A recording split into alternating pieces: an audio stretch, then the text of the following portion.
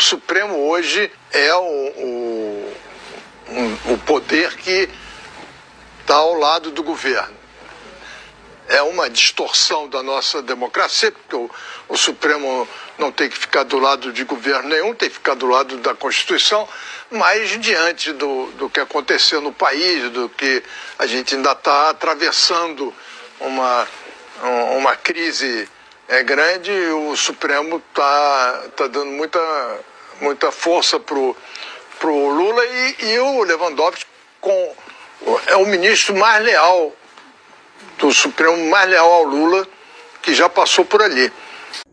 Você acabou de ver o Merval Pereira da Globo News mostrando o regime Supremo PT que tomou conta do país desde que o STF, numa medida controversa, soltou Lula da cadeia para ser eleito presidente da República.